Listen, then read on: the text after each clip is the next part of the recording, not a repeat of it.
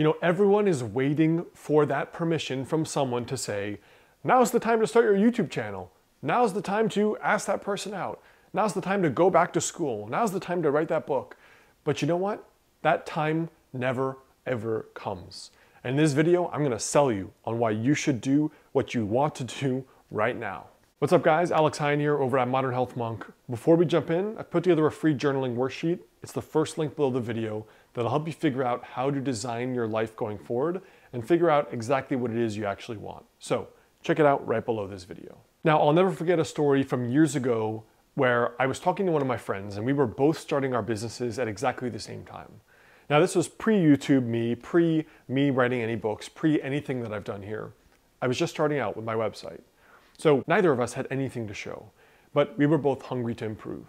Now, this friend and I were talking, he's saying, you know, oh, you're starting a blog or a website or whatever. Well, those few articles, those first few, have to be like crack for you to have a real business. Like if those first few articles aren't like crack, no one's gonna come back. Now, I had a different point of view.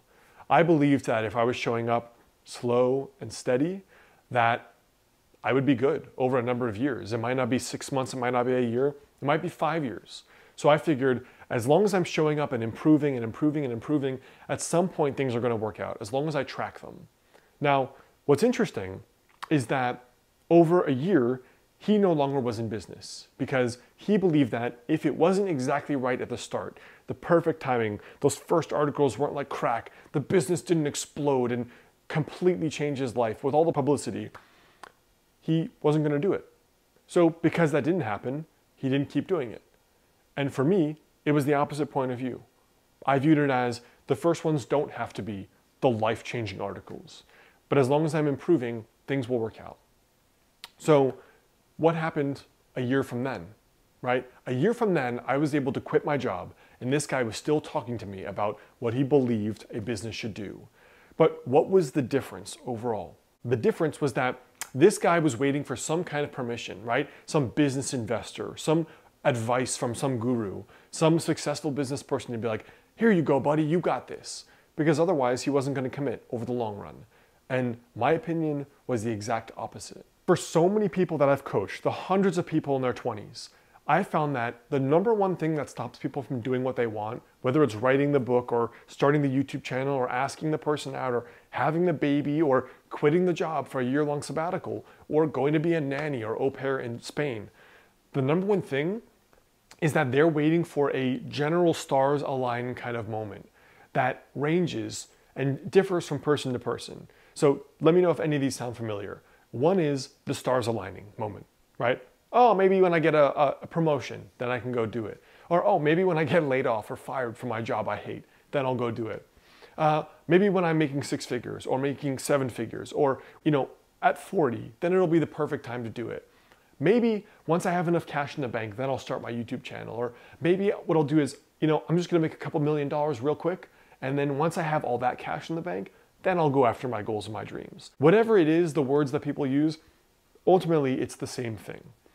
And what that same thing is, is that they believe there's going to be a time that is the perfect time with a perfect signal from God in the universe that says, You got it. You're the chosen one. It's the time to do it. So you better go over and do it. And that time rarely happens.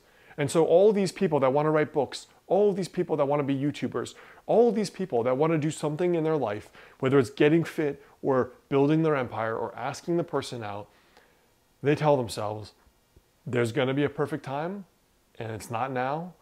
And they wait and they wait and they wait and they never take the action on their goals and their dreams. And then one day happens where they are typically 35, 40, 45, where they start to see age sneaking up on them, old man age. And they realize, I could have done that 10 years ago, but I never had the guts because I was telling myself, one day was going to be a good day to do that thing that I always wanted to do, to walk the Camino, to eventually write my book, to start that crafts business. And it never ended up happening because one day is a bullshit story you tell yourself because you're afraid of taking action on your goals and your dreams. So if you can spot that someday is not a day of the week, it is not a real thing, it is a concept you utilize because you're afraid of failing, of looking stupid, of going after those goals, if you can recognize that psychologically one day is purely a construct because resistance is beating the shit out of you and you are losing the days, the precious days that you could be making a little bit of progress towards your goals. The day you recognize that telling yourself you'll do it one day, that that is all made up because you're afraid, you're going to take the biggest action of your life and the next year will be the quantum leaps that you were always hoping they'd be. So stop waiting around thinking that someday is going to be a good day or that you need to be chosen or that someone needs to say you're special or someone needs to take you under their wing and be their guru because that's probably not going to happen. And most successful people you admire didn't wait for that to happen, but they realized that in a year, I'm going to be a year older. Am I going to make progress towards my dreams or is it going to look exactly like how it looks today?